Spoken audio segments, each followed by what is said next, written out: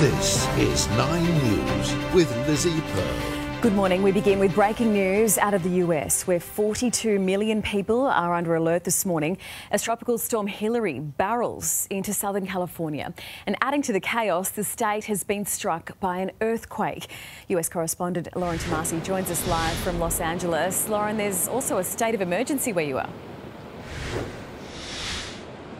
Yeah, there is, Lizzie, a state of emergency here in Los Angeles and right across Southern California. Such is the concern for this tropical storm and the weather it's bringing. You can see the rain is absolutely teeming down right now on the way.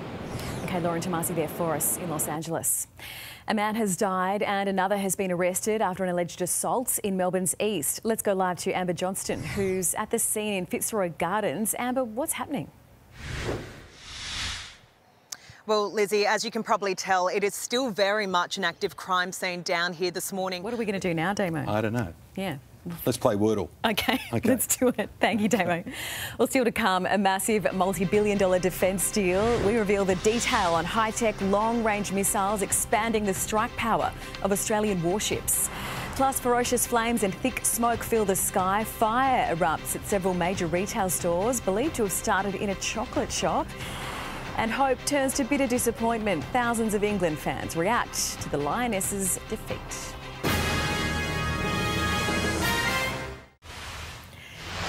The Albanese government has unveiled a $1.7 billion spend on high-tech long-range missiles capable of striking an enemy 1,500 kilometres away.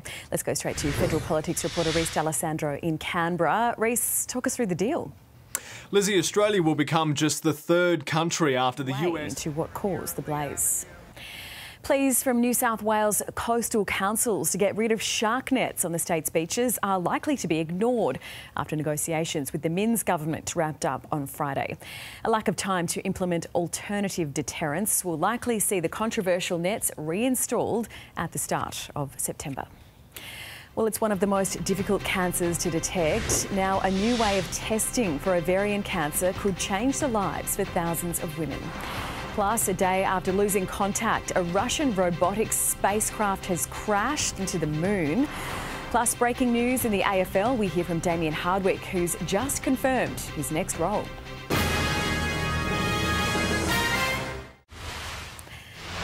A breakthrough this morning in the fight against ovarian cancer with Melbourne scientists developing a first of its kind blood. Sports news now and breaking news in the AFL. Uh, the Gold Coast has confirmed Damien Hardwick will take over as head coach of the club on a six year deal until the end of 2029. Hardwick stepped down as Richmond coach earlier this year after winning three grand finals over 14 seasons. To more breaking news, this time in rugby league. A huge blow for South Sydney's finals hopes with superstar Latrell Mitchell facing a one to two week suspension after being charged for an elbow to the back of Tyson Frizell's head in yesterday's loss to Newcastle. The Rabbitohs have a bye this week before facing the Roosters in the last round, a game they will almost certainly have to win to make the top eight. Stay with us, we'll have all of your weather details after the break. Are you ready to go? Where else but the show? Experience it all on us. Win one of 25 family tickets. Watch 9 News, nightly at 6. To the national forecast now. A cloudy day in Brisbane today, sunny and 21 in Sydney. Melbourne, the chance of a shower heading for 18. The same top in Hobart.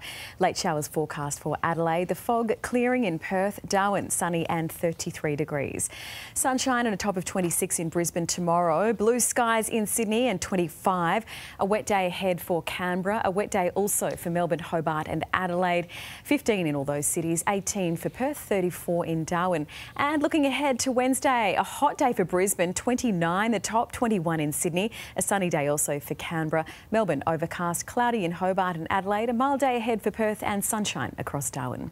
And that is Nine's Morning News. We'll have your afternoon bulletin at 4 o'clock, 5 o'clock in Adelaide and in Perth. I'm Lizzie Pearl. Thanks for your company.